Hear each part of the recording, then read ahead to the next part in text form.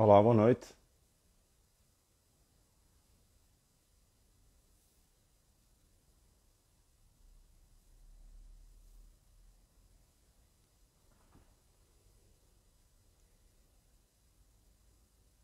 Boa noite, vamos só aguardar que vão chegando as pessoas.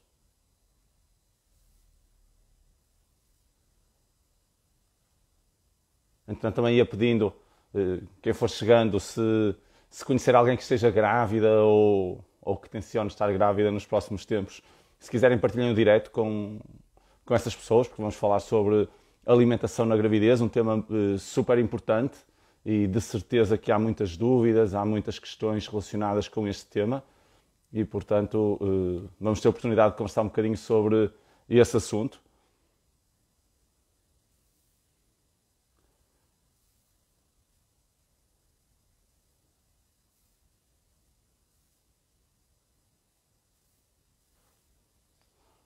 Vou só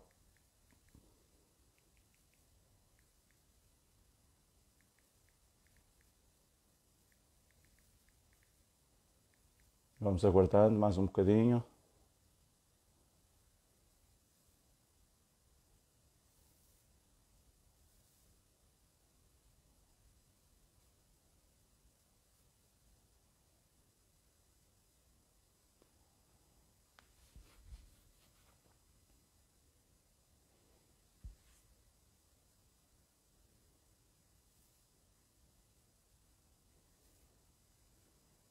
Ok, eu acho que podemos ir uh, começando, vão partilhando, está bem, com, com grávidas ou com futuras grávidas uh, que, que tenham algumas dúvidas sobre a alimentação. Uh, para quem não me conhece, o meu nome é João Rodrigues, sou nutricionista, sou autor do blog Mundo da Nutrição e, e hoje estou aqui a convite das Aromáticas Vivas para falar um bocadinho sobre nutrição e alimentação na gravidez. E eu vos pedi também que qualquer dúvida que tenham, vão colocando na caixa dos comentários, porque eu vou, vou respondendo às, às dúvidas assim que elas forem surgindo, está bem? Eh, portanto, sejam à vontade, alguma questão. Eh, a gravidez é uma altura eh, especial da vida dos casais e, em particular, das mulheres. Há muitos mitos, há muitas crenças associadas a, este período, a este período da vida das mulheres e, portanto, muitos deles envolvem a alimentação e, e, hoje é uma altura boa para nós conversarmos um bocadinho sobre, sobre esses temas, uh, à medida que a conversa for surgindo, está bem?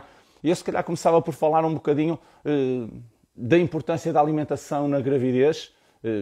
Todos nós sabemos que a alimentação é fundamental para qualquer etapa da vida, mas a gravidez é de facto um período diferente, é um período especial, porque durante aquele, aquele período de tempo, normalmente as 40 semanas, mais ou menos, eh, a mulher acaba por eh, ter que ter cuidados com ela, obviamente, mas tem cuidados redobrados porque tem uma, uma vida, ou mais do que uma, se forem gêmeos, eh, a desenvolver-se no seu interior. E, portanto, de repente, tudo aquilo que a grávida faz acaba por ter uma acaba por ter um efeito direto também, ou, ou poderá ter um efeito direto também no desenvolvimento do feto e, portanto, eh, poderá condicionar positiva ou negativamente eh, o futuro do filho. Eh, e, e, quando falo no futuro, não estou a falar apenas durante a gravidez, estou a falar depois após o parto e durante, durante a vida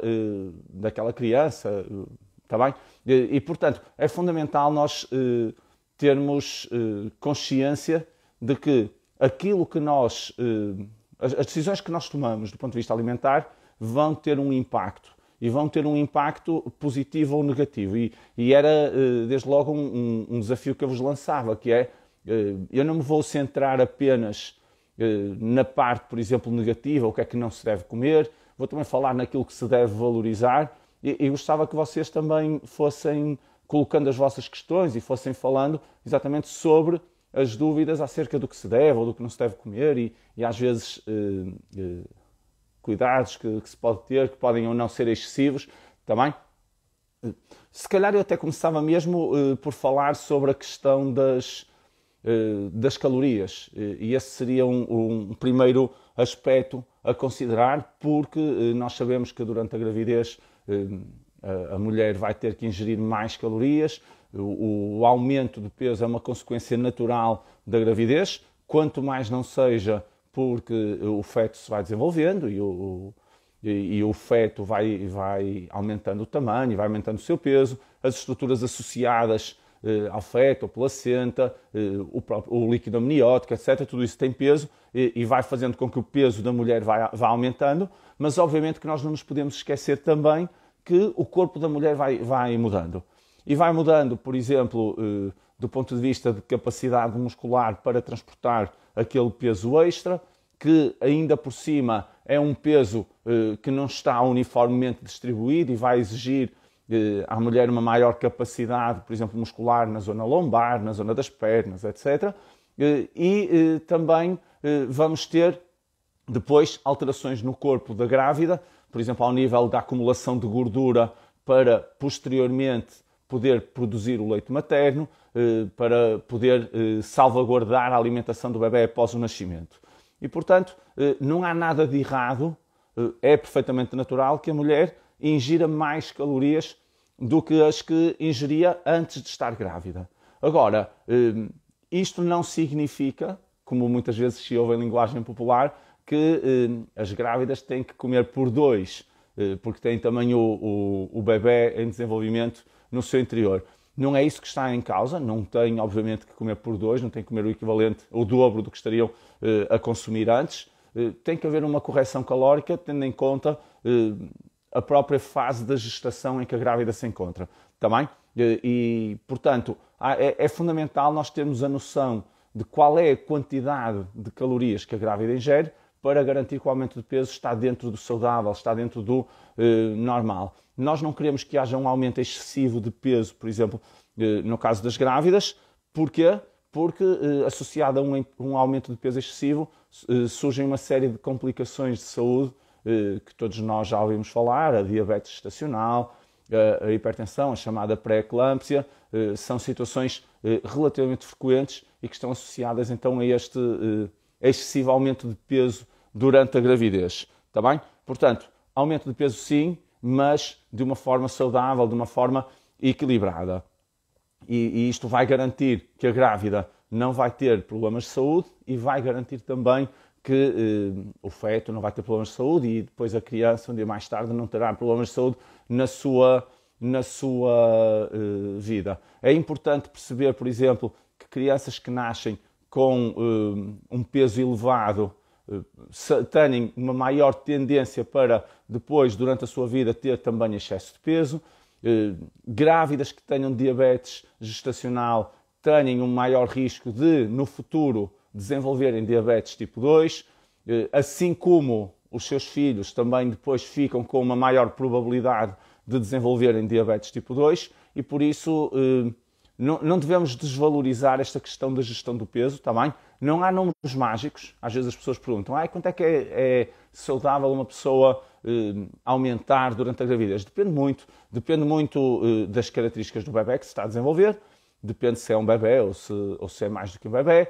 Depende eh, de qual era o ponto de partida da mulher durante a gravidez. Porque, obviamente, que se a mulher, eh, quando engravidou, já tinha, por exemplo, uma obesidade terá uma, uma necessidade fisiológica de aumentar eh, de peso muito menor do que uma pessoa que tenha um peso mais baixo, também, porque eh, a pessoa que tinha um peso mais baixo não tinha o corpo tão preparado do ponto de vista de reservas, etc., para eh, depois acomodar o, o feto que se vai desenvolvendo. Portanto, a primeira recomendação que eu deixava era exatamente ter muita atenção à gestão das calorias Claro que a gravidez é um período especial, é um período especial do ponto de vista, um, do ponto de vista psicológico. Uh, um momento, é um momento único em que há muita euforia, em que tudo, tudo parece mágico, uh, mas que também altera muitas vezes a relação da, da mulher com a comida. Uh, é muito frequente haver os enjoos, já vamos falar dos enjoos, já vou dar algumas dicas para lidar com os enjoos durante a gravidez, por exemplo. Eh, é muito frequente também haver assim alguns os chamados desejos de grávida, que não, não é obrigatório que, que surjam, mas que, que, podem surgir e, portanto, eh, esta relação da grávida com a, com a comida altera-se durante a gravidez, temos que interpretar, temos que enquadrar essa, essa alteração, mas sempre tentando que haja aqui uma relação positiva. Está bem? Volta a, a, fazer o desafio, vão colocando as vossas questões, está bem? Uh, provavelmente haverá temas que eu, que eu não vou, que eu, que eu, não irei abordar, mas que se calhar se vocês puxarem à conversa eu posso abordá-los. Portanto, não tenham problemas nenhums em colocar as vossas questões. Já vai falar dos enjoos, por exemplo. Uh, os enjoos durante a gravidez são frequentes. Uh, felizmente há muitas grávidas que não passam por isso, mas há algumas grávidas que até passam um mau bocado por causa dos enjoos. Eh, e, e, e se calhar deixava aqui eh, umas dicas práticas para se lidar com os enjoos. Eh, primeiro, não há, digamos assim, curas universais para os enjoos. O que resulta com uma mulher pode não resultar com a outra. Mas há essencialmente dois alimentos que nos podem ajudar a minimizar os, os enjoos, o impacto dos enjoos. Um dos alimentos é o gengibre, de preferência gengibre fresco, o gengibre fresco tem um, um, um, travo mais cítrico, tem o senão de ser um bocadinho picante e há um bocadinho não, até é bastante picante e, e há pessoas que não gostam tanto, mas uh, o, o, gengibre é uma boa opção. Se não gostarem de gengibre fresco, se não tiverem gengibre fresco, podem também usar o gengibre uh, em pó, portanto o gengibre desidratado. Ou o outro alimento que ajuda a, a diminuir os enjoos é a menta. E aqui eh, teremos uma maior possibilidade, uma maior diversidade de, de, de formas de consumo da menta. Eh, temos, por exemplo, eh, a utilização da, da menta, da hortelã-pimenta nas saladas, umas folhas também, por exemplo, na sopa. Podemos usar a, a hortelã-pimenta para uh, preparar águas aromatizadas, para preparar smoothies, por exemplo, batidos, sumos de fruta naturais com algumas folhas hortelã-pimenta ou até a limonada, obviamente, que é um clássico. Temos ainda a, a possibilidade de preparar infusões, ou, uh, portanto, fazer a extração com água quente dos sabores da menta ir bebendo ao longo do dia também. E depois há outras opções, como as chicletes sem açúcar, como os reboçados de menta, que podem também ser uma alternativa não tão interessante do ponto de vista nutricional, obviamente, mas uma, uma alternativa eh, viável também para minimizar o impacto dos enjoos. Volto a dizer, não funciona com toda a gente, mas estes sabores refrescantes, seja o do gengibre, seja até principalmente o da menta, eh, muitas vezes diminuem o impacto dos enjoos. E eh, os enjoos tendem a ser mais frequentes numa fase inicial da gravidez e acabam por, eh, de alguma forma, de alguma forma, diminuir um bocadinho a magia da gravidez. A, primeira fase da gravidez, em que a grávida ainda não aumentou muito de tamanho, ou, ou, melhor, não aumentou muito de peso, em que ainda não há aquele desconforto no descanso, eh, na postura, etc., muitas vezes acaba por eh, desaparecer um bocadinho esta magia por causa dos enjoos frequentes, está bem? Portanto, já sabem, gengibre, eh, hortelã-pimenta são boas estratégias e, e podem usar em diferentes contextos. Está bem? Volto a dizer, se conhecerem grávidas, vão partilhando direto com as grávidas. Eh, vamos juntar aqui uma comunidade grávidas ou grávidos, se quiserem também. Eh, casais que estejam a, a, a ponderar ter filhos para breve. Eh, vamos falar um bocadinho aqui sobre a alimentação. Ok, vamos, já falamos em calorias, já falamos em, em vamos também falar em alguns, em alguns nutrientes importantes. E eu aqui destacava desde logo o ácido fólico.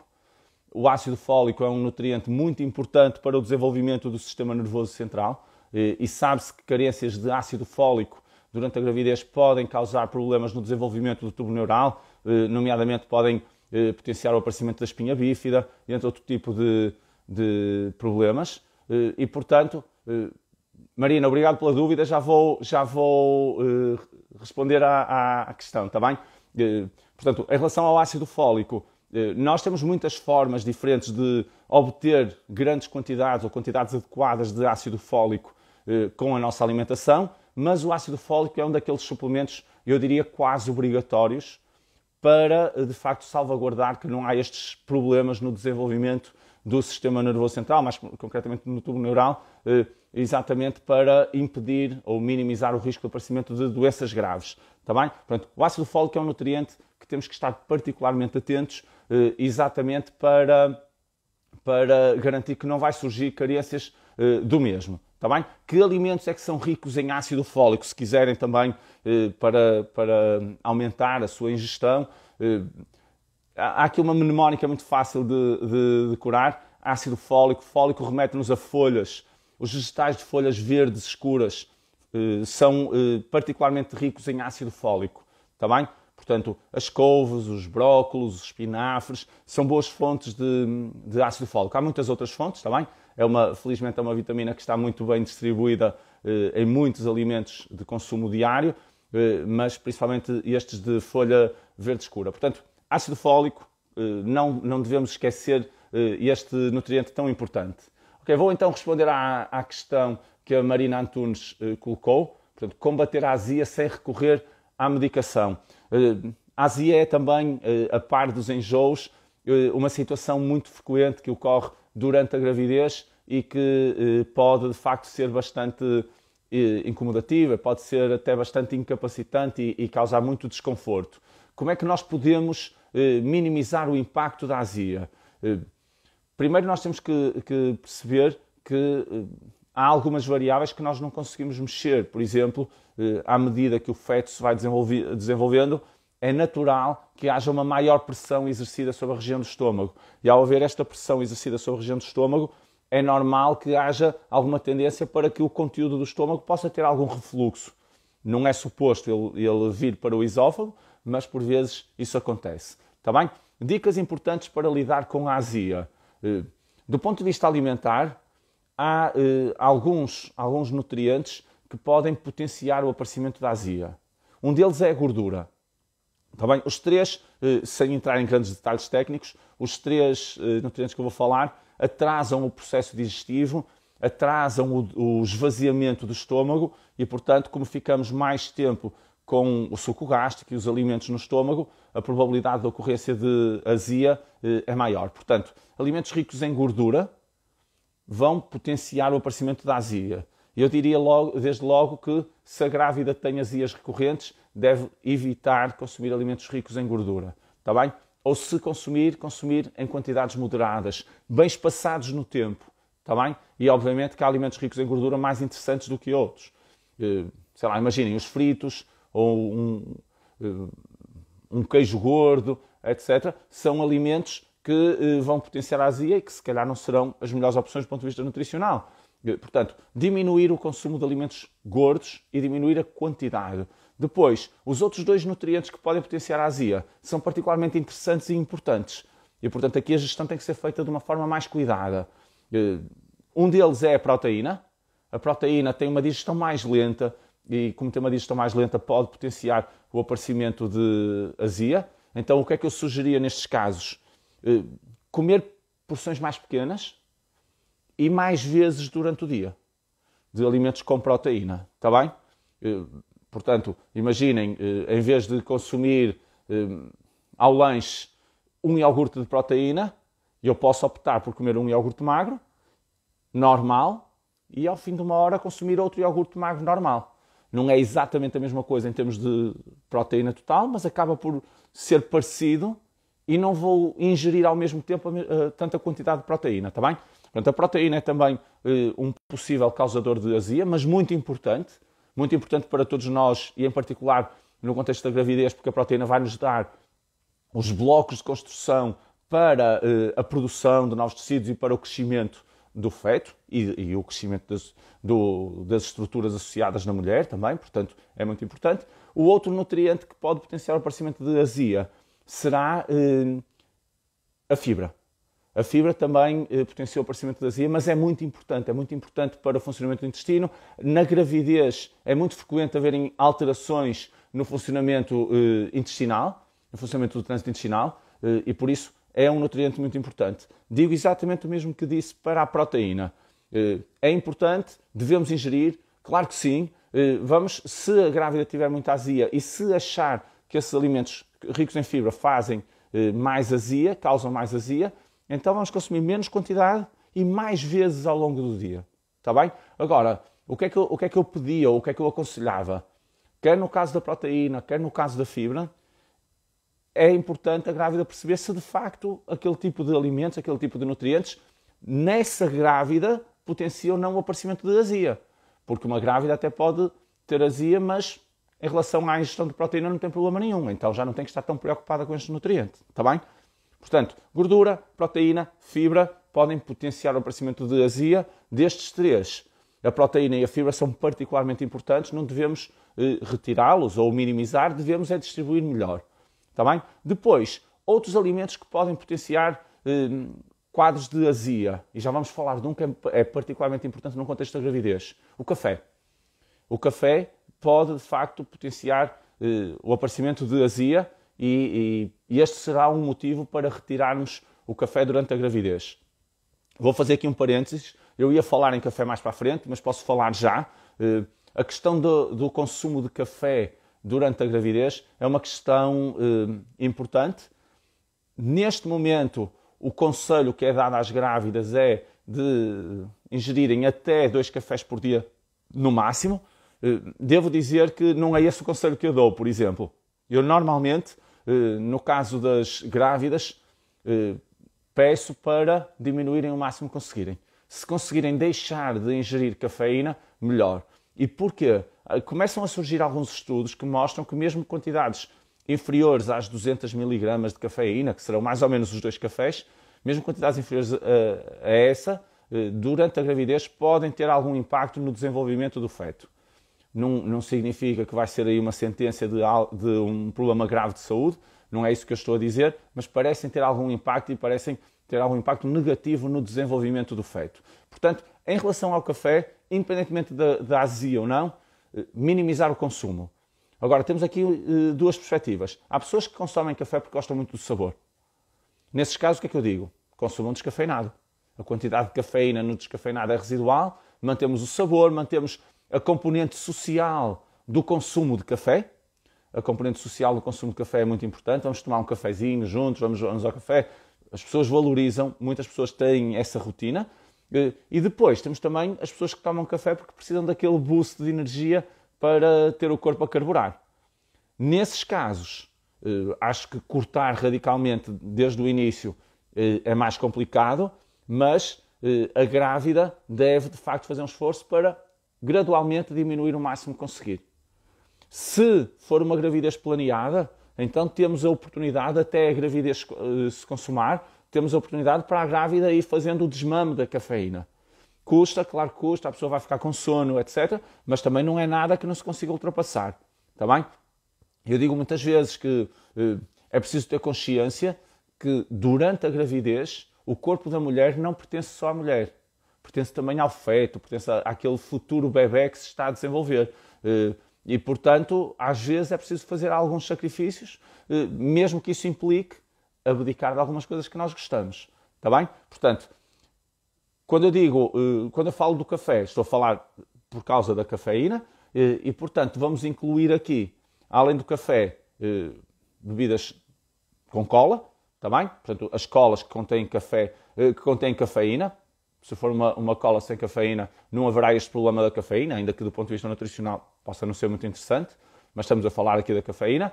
Vamos falar também, ou vamos incluir aqui também, depois, os chás. E quando eu falo em chás, eh, por definição, chá é uma bebida preparada eh, a partir de uma, de uma planta em específico e, portanto, quando se fala em chá, tecnicamente está-se a falar em chá preto, chá verde, chá branco e chá ao longo. Aqueles chás que nós falamos às vezes, eh, como eu falei há bocado, o chá de hortelã-pimenta, eh, o chá de Lima, o chá de cidreira, etc. Nós chamamos chá, mas tecnicamente são infusões. Está bem? E esses não têm cafeína e, portanto, não haverá problema nenhum eh, associado ao seu consumo. Certo? Portanto, reduzir a cafeína o máximo possível, porque na gravidez parece haver aqui algum impacto, e no caso da azia também é um potenciador desse problema. Depois, Citrinos também podem potenciar o aparecimento de azia. Depende muito da grávida, mas mais uma vez teremos que fazer tentativa e erro. Se a grávida sentir mais desconforto quando consome laranjas, tangerinas, quando bebe uma limonada, etc., então o, melhor que tem a fazer é abdicar desse consumo enquanto estiver com estes quadros de azia. Após a gravidez, a vida vai voltar eh, mais ou menos ao normal, nunca volta totalmente, e, portanto, se, se a mulher conseguia consumir esses alimentos e não tinha azia, portanto, após a gravidez, muito provavelmente vai continuar a consumir esses alimentos sem problema, está bem? Depois, eh, última dica que eu daria, eh, porque a azia surge muitas vezes durante a noite, porque nós estamos deitados e aí a gravidade não joga a nosso favor. Porque durante o dia, quando nós estamos a pé, quando estamos sentados, a própria gravidade vai empurrando o conteúdo do estômago para baixo, não para cima. Eh, se a grávida tem quadros de azia frequentes, o elevar a cabeceira da cama, pôr umas almofadas debaixo do colchão, fazer com que a parte, a parte de cima da cama, a parte onde nós apoiamos a cabeça, tenha alguma inclinação, pode ser também uma ajuda importante. Está bem? E estas seriam as dicas que eu daria para tentar minimizar o impacto da, da azia sem recorrer à medicação, que foi essa a questão que foi colocada. Está bem? Vão, vão colocando as vossas dúvidas, uh, vamos, vamos falando aqui um bocadinho sobre aquilo que vos preocupa, aquilo que vos inquieta uh, durante a gravidez, está bem? Eu estava a falar uh, sobre nutrientes, estava a falar sobre nutrientes importantes, falei sobre o ácido fólico, Há depois outros também muito importantes, como o ferro, como o magnésio, em que muitas vezes faz uma suplementação, têm funções diferentes. Queria deixar aqui outra dica também importante, que passa pelo iodo, que é algo que também não se valoriza assim tanto. Eh, aliás, isto que eu vou dizer, eh, no caso da grávida, é particularmente importante, mas eh, é uma dica que vai ser transversal a qualquer pessoa e todos vocês que estão desse lado, estejam ou não grávidos ou grávidas, também podem beneficiar desta dica que eu vou deixar. O iodo é um mineral muito importante, é um mineral que nós conseguimos obter principalmente a partir de alimentos de origem marinha. Portanto, o peixe, o marisco, o pescado, de uma, maneira, de uma maneira geral, desde que seja de mar, porque o de rio normalmente não tem um teor de iodo significativo, eh, e além do pescado, temos as algas como boas fontes de iodo. O iodo é muito importante, entre outras coisas, para eh, o desenvolvimento do sistema nervoso central. Eh, e no caso do, da gravidez, nós precisamos de ter um, um, desenvolvimento do sistema nervoso central correto, à medida que o desenvolvimento embrionário vai, vai decorrendo, para que uh, o bebê depois uh, nasça com boas capacidades cognitivas e com um desenvolvimento normal uh, de acordo com as suas características internas, intrínsecas, está bem? e, portanto, como é que nós conseguimos salvaguardar uma ingestão diária de iodo? Porque muitas vezes eh, apesar de nós em Portugal até sermos uns privilegiados e temos uma costa incrível e temos eh, produtos marinhos espetaculares, nós temos tendência a, a, desvalorizar um bocadinho esse seu consumo e, e, até culturalmente acabamos por dar mais importância à carne, etc. Eh, e eu, o que é que eu aconselho? E aconselho isto a todas as pessoas, independentemente de estarem grávidas, passem a usar sal iodado.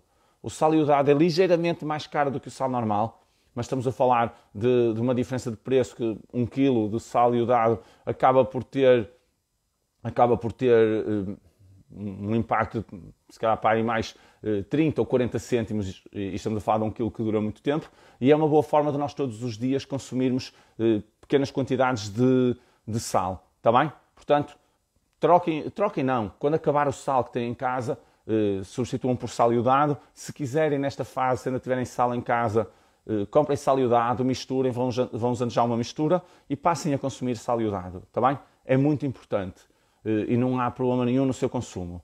Temos aqui uma, uma, uma nova questão da Marina, obrigado pela segunda questão, está bem? Uh, se existem ervas aromáticas que não aconselho durante a gravidez. Esta acaba por ser até uma, uma questão muito importante e que vem na sequência disto que eu estava a dizer do sal iodado.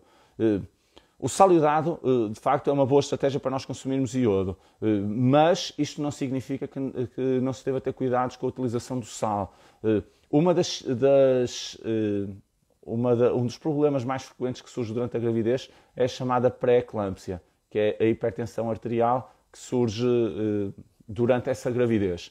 E a hipertensão ou a pré-eclâmpsia pode causar abortos, pode causar eh, problemas ao nível da, da gravidez, eh, partos pré-termo, etc. Eh, nós sabemos que, do ponto de vista alimentar, do ponto de vista comportamental, um dos grandes causadores da hipertensão é o consumo excessivo de sal.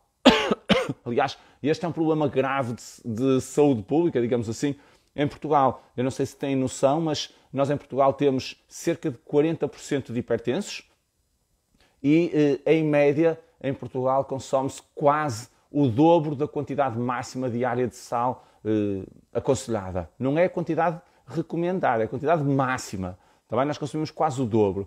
Eh, e, portanto, não é de estranhar que haja muitos hipertensos, porque de facto nós culturalmente usamos muito sal.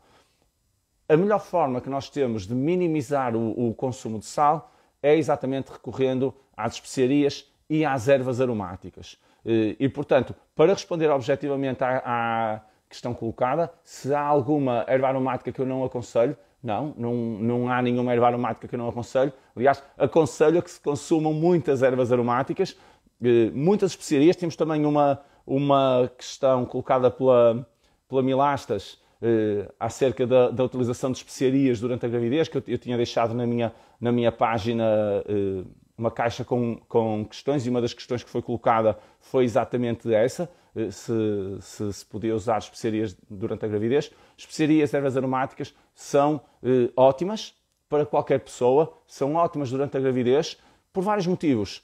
São ótimas eh, porque vão permitir usar menos sal, vão permitir eh, a pessoa não usar os, os caldos pré-feitos, eh, os caldos de carne, de legumes, de peixe, que acabam por ser usados como intensificadores de sabor, mas que têm na sua composição, têm uma composição que do ponto de vista nutricional é muito pouco interessante. Uh, e depois há outra vantagem que, que eu também iria abordar durante esta conversa, e vou abordar agora, que tem a ver com o sabor do líquido amniótico. E isto é algo que normalmente não se valoriza muito. Quando nós, quando nós falamos da relação entre a alimentação da mãe e eh, depois a aceitação dos alimentos por parte das crianças, normalmente nós pensamos na amamentação. E de facto, quando a, quando a mulher está a amamentar, eh, o sabor do leite materno vai eh, variar de acordo com a alimentação eh, que a mãe tem. E se a mãe for variando os alimentos que consome, o sabor do leite materno também vai sendo diferente e o bebê vai tendo oportunidade, indiretamente, eh, de provar e de sentir outros sabores. Agora, isto é válido para o leite materno, mas é válido também para o líquido amniótico. E está provado que uma alimentação rica em sabores durante a gravidez vai permitir ao bebê, durante o desenvolvimento embrionário, porque o bebê vai bebendo, vai ingerindo o líquido amniótico, vai permitir ao bebê contactar com estes sabores e eh, começar a criar aqui uma maior tolerância para um dia mais tarde aceitar melhor eh, os sabores que, lhes, que lhe vão ser oferecidos. E estou a falar eh, mais concretamente até depois o bebê poder tolerar melhor eh, os sabores dos, dos, diferentes legumes, das diferentes frutas, está bem? Portanto, há aqui esta regra que é muito, muito, muito, muito importante. A grávida deve, deve ter uma alimentação variada, eh, variada do ponto de vista de sabores também, eh, exatamente para, eh, no fundo, transmitir esta mais-valia de diversidade de sabores para, os, para o feto, está bem? E a utilização das especiarias ou das ervas aromáticas vai permitir claramente alargar este leque de sabores, está bem? E depois, há uma última, uma última eh, vantagem que eu, que eu destacaria no caso da, da, utilização, por exemplo, das ervas aromáticas, que é uh, as ervas aromáticas são extremamente nutritivas. Nós achamos que só servem para dar sabor, mas uh, eu, eu digo, dou muitas vezes este exemplo e as pessoas ficam um bocadinho espantadas. De todos os alimentos que nós temos à nossa disposição, por exemplo, o alimento mais rico em vitamina C é a salsa. E as pessoas acham que é laranja, etc. A salsa tem uma quantidade de vitamina C muito superior, por exemplo, à laranja. Claro que nós não consumimos a mesma quantidade de salsa que consumimos de laranja ou de tangerina, etc. Mas não nos podemos esquecer que, eh, de facto, as, as ervas aromáticas e as especiarias também, mas aqui estou a falar especificamente agora das, das ervas aromáticas, são muito ricas em muitos nutrientes e a sua utilização eh, durante a, a, gravidez acaba por garantir também ou, ou permitir um maior aporte desses nutrientes que são fundamentais para a mulher e são fundamentais para, para o feto. Está bem? Portanto, para aquela criança que depois vai nascer e que queremos que nasça saudável e que tenha uma vida saudável. Portanto, eh, ervas aromáticas sim, sem problema nenhum, não há nenhuma que eu desaconselho. Estávamos a falar em, em alimentos que, que, se devem evitar, e eu falei da cafeína. Há aqui outro que eu destacaria também, porque acho que é importante ter esta noção, e este eu normalmente não abro mão dele e, e peço mesmo para as pessoas deixarem de consumir de forma total, que são as bebidas alcoólicas. O álcool é uma substância tóxica, eh, e eh, tem efeitos diretos depois, ou pode ter consequências diretas no desenvolvimento embrionário, está bem? Eh, portanto, abdicar das bebidas alcoólicas é algo que, que deve ser assumido desde o início. Mais uma vez, eu sei que pode ser uma chatice para algumas pessoas, porque gostam, e não está em causa aqui nenhum tipo de vício, mas eh, pessoas que apreciam o consumo de um vinho, o consumo de um gin, o consumo de uma cerveja, etc. Mas durante a gravidez, não. Está bem? No final da gravidez, ou melhor, no final da amamentação, se existir amamentação, aí sim retoma-se esses hábitos, mas eh, álcool deve-se evitar, está bem? E aí sim de uma forma mais intransigente até do que a própria cafeína, porque os efeitos também são mais negativos, está bem? Depois outra questão também particularmente importante eh, em relação ao que não se deve eh, consumir eh, envolve os laticínios, está bem? E aqui não, não se preocupem que eu não vou dizer que os laticínios fazem mal, aliás eu sou um defensor dos laticínios e consumo laticínios todos os dias, mas nem todos os laticínios são igualmente seguros durante a gravidez. E esta é uma questão que não se aborda muito, não se valoriza muito, mas que deve ser valorizada. De uma maneira geral, os laticínios que são eh, feitos com leite pasteurizado são seguros. Está bem? E aliás, não nos podemos esquecer que eh, para o desenvolvimento embrionário vai ser necessário uma grande quantidade, por exemplo, de cálcio para a construção dos ossos, do feto, etc. E, e os laticínios são uma das nossas melhores fontes de cálcio. Eh, agora, os laticínios feitos com leite pasteurizado são seguros. Se forem feitos com leite não pasteurizado, podem, podem estar contaminados com listeria e a, a infecção com listeria pode ter consequências particularmente graves durante a gravidez. Porquê durante a gravidez? Porque durante a gravidez há uma série de medicamentos que a grávida não deve consumir. Há uma série de, de, de, de doenças que seriam eh, tratadas com alguma facilidade num contexto que não fosse a gravidez, mas durante a gravidez eh, há, há fármacos que não devem ser consumidos, está bem? Portanto, laticínios preparados com leite não pasteurizado devem ser evitados. Não é, eh, mais uma vez, não é uma sentença, não, não estou a dizer que a grávida, se consumir um, um, um, laticínio preparado com leite não pasteurizado, vai ter problemas de saúde, não é isso que eu estou a dizer. Estou a dizer que, assumindo aqui o princípio da precaução, devemos eh, evitar o seu consumo, está bem? E vocês podem dizer, ai, como é que eu sei se, se é feito com leite pasteurizado ou não? Leia um rótulo. No rótulo tem lá essa informação, está bem? Os rótulos têm muita informação, nós é que desvalorizamos muito uh, as informações que estão nos rótulos, está bem? Mas os rótulos têm essa e muitas outras informações e, portanto, vejam. Uh, e vocês também podem dizer, ai, no caso dos queijos artesanais, vou dizer exatamente o mesmo. Aí evitem, está bem? Porque aí, nos queijos artesanais nós não temos eh, certeza de como é que foram preparados, quais as condições em que foram preparados e, portanto, deve-se evitar. Ainda em relação aos queijos, há também duas classes de queijos que normalmente se aconselha a uh, não se consumir. Novamente, por uma questão de, de, de precaução, está bem? Porque existe algum risco de haver alguma contaminação. E que queijos são esses? Os queijos azuis, que tem aquele, aquele, aquele azul no interior do queijo é, é veloz, são fungos. E, portanto, estou a falar do gorgonzola, estou a falar do roquefort, por exemplo, que são queijos que devem eh, ser evitados durante a gravidez por risco de contaminação e também os queijos que têm uma camada de bolor eh, à superfície e que são de pasta mole. Estou a falar do brie, estou a falar do camembert, estou a falar eh, do chèvre, portanto o queijo de cabra, eh, que tem essa camada eh, externa rica em fungos, que é saborosa, que é segura, eh, mas que durante a gravidez se deve evitar exatamente para diminuir o risco do aparecimento de algum tipo de, de problema de saúde grave. Está bem? Pronto, estas são algumas recomendações, mas para que fique claro, nada contra os laticínios, são, são uma boa opção, não são indispensáveis, como não há nenhum alimento indispensável, mas são uma boa opção e, e, e eu, como defensor dos laticínios, eh, acho que se, se, a grávida gosta e tolera bem os laticínios, eh, deve consumi-los porque são uma mais-valia do ponto de vista eh, nutricional. Está bem?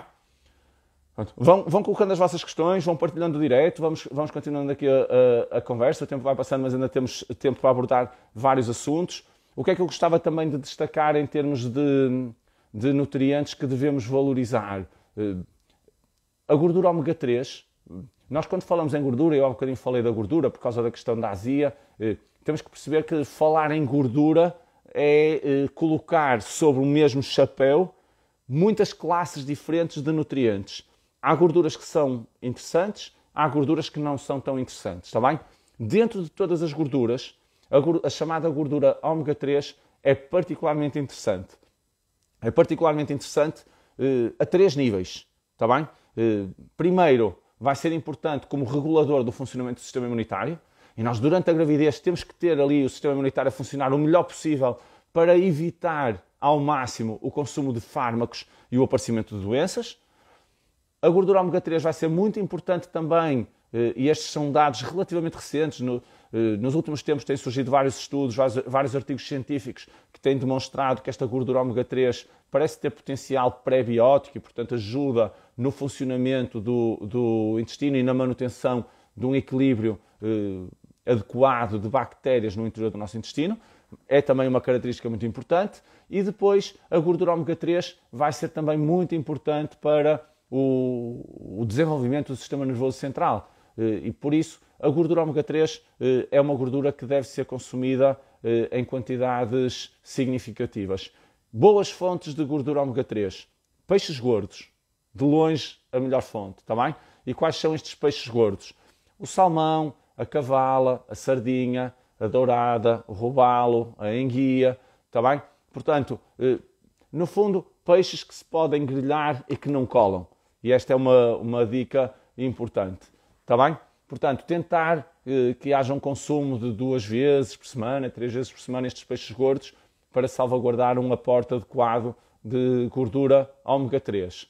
Falando em peixes, eh, e isto as, e, e, o tema é a nutrição e a alimentação, e a conversa eh, vai sendo como as cerejas, eh, falando em peixes, eh, os peixes não são todos igualmente seguros principalmente durante a gravidez, há alguns peixes cujo consumo deve ser diminuído, também tá não é abolido, mas que são peixes que devem ser consumidos com menor frequência, que são os peixes que estão mais no topo nas cadeias alimentares, são os peixes maiores que se alimentam de outros peixes e que, como consequência, podem estar contaminados com os chamados metais pesados, o chumbo, o mercúrio, o mercúrio entre outros. Está bem?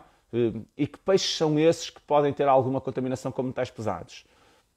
O atum, o espadarte, o tubarão, estes, dentro daqueles que nós consumimos, serão os, os de consumo mais frequente, principalmente o, o atum e o espadarte, o tubarão não tanto, mas o tubarão, a tintureira, etc. Portanto, são, são peixes que também podem ser consumidos e podem ser encontrados com alguma facilidade.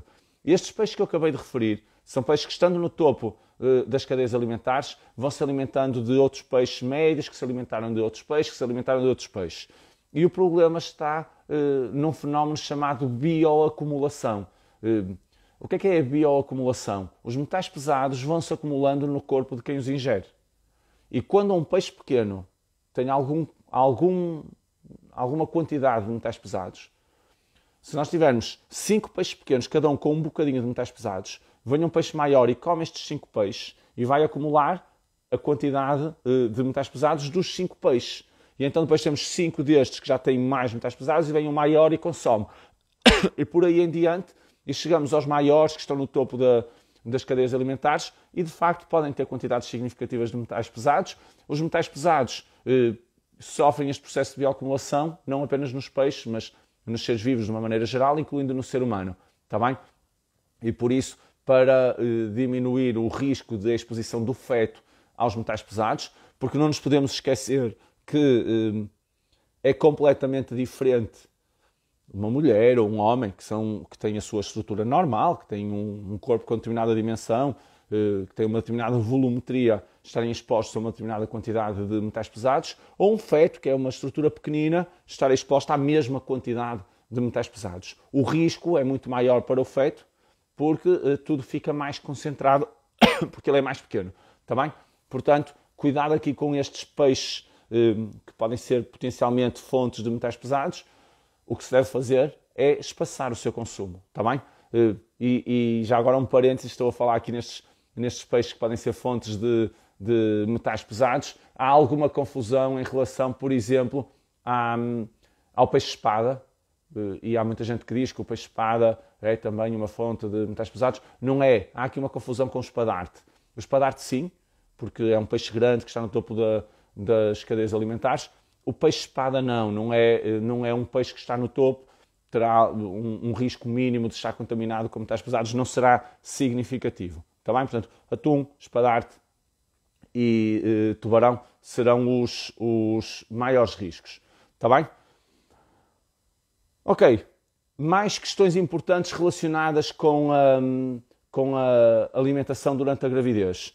Eh, estávamos a falar há bocadinho de, dos chás. Só para que fique claro, eh, os chás que devem ser evitados são os que contêm eh, cafeína, nomeadamente os, o preto, o branco, o oolong e o verde. Eh, as outras infusões são seguras durante a gravidez, de uma maneira geral.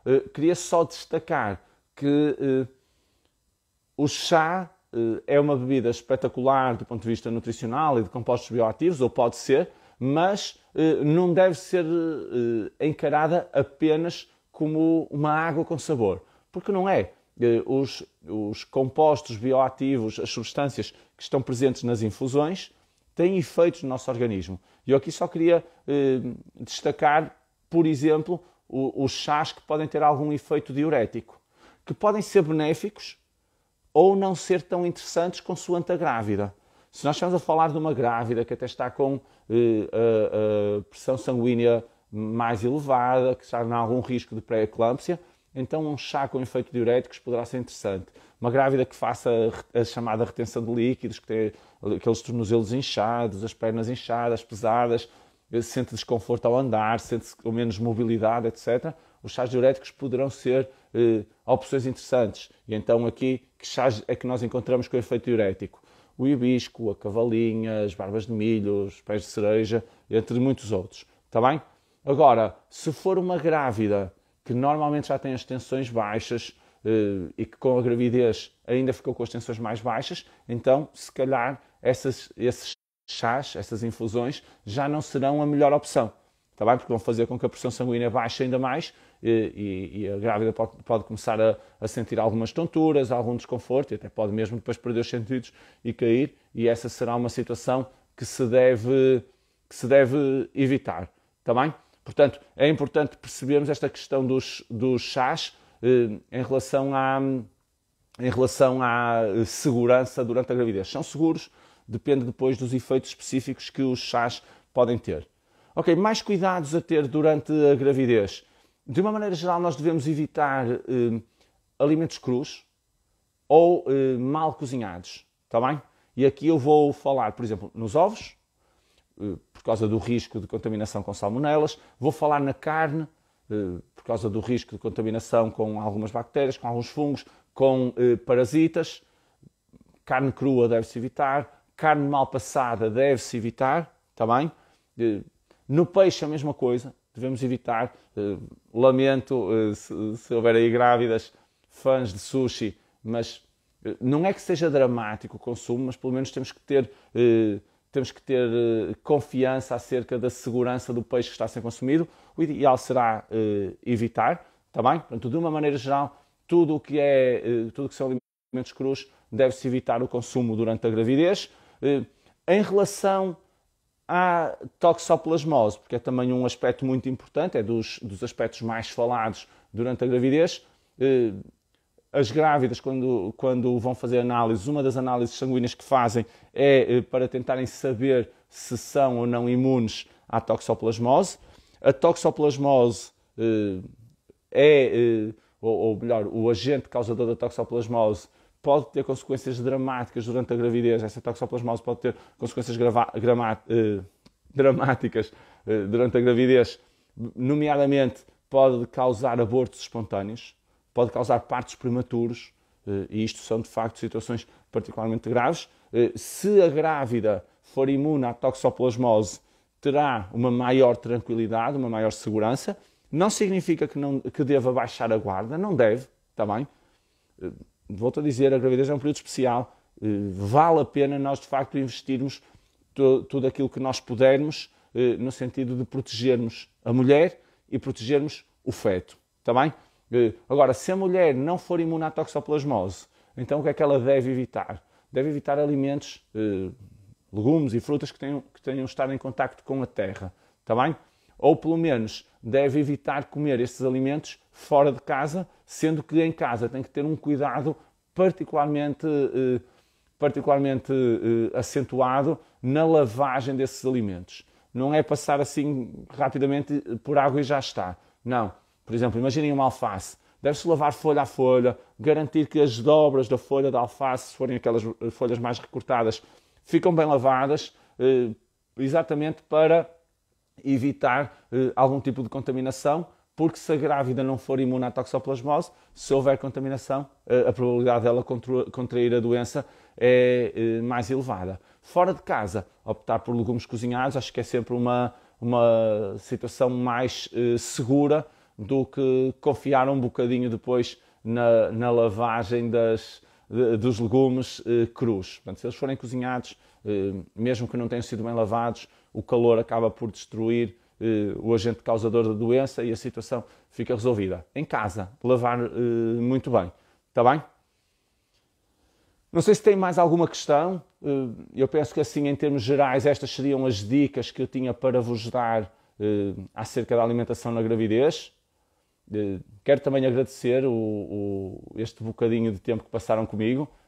Dizer-vos que, se quiserem passar pela minha página, chama-se Mundo da Nutrição. Alguma dúvida que, que possa surgir, passem por lá e, e eu, eu depois tenho todo o gosto em responder às vossas questões. Queria agradecer também à, às Aromáticas Vivas eh, pela oportunidade de estar aqui a falar um bocadinho sobre este tema tão importante e um tema que eu, que eu tenho um interesse eh, eh, e um carinho particularmente especial. Posso-vos dizer que um dos, ou melhor, o principal motivo que me levou depois a enverdar pela, pela área da nutrição, porque a nutrição é a minha segunda formação académica e, e o o, o, principal motivo que me levou a, a enverdar por esta área foi exatamente o ter sido pai e perceber que a nossa alimentação é muito importante para nós eh, conseguirmos eh, construir um presente e, acima de tudo, um futuro bem mais saudável, bem mais feliz para, para nós e para os nossos filhos. E, portanto, como eu acredito muito no poder da, da alimentação, este é um tema que eu gosto eh, particularmente. Está bem? Portanto, muito obrigado por terem estado, por terem estado uh, desse lado uh, e passem na minha página se quiserem. Uh, teremos oportunidade para, uh, terei oportunidade para esclarecer as vossas dúvidas e muito obrigado também às Aromáticas Vivas, que é uma, uma empresa que eu gosto particularmente porque nos leva para o prato ervas aromáticas frescas que são tão importantes e tão saborosas. Obrigado e um bom fim de semana XL para todos.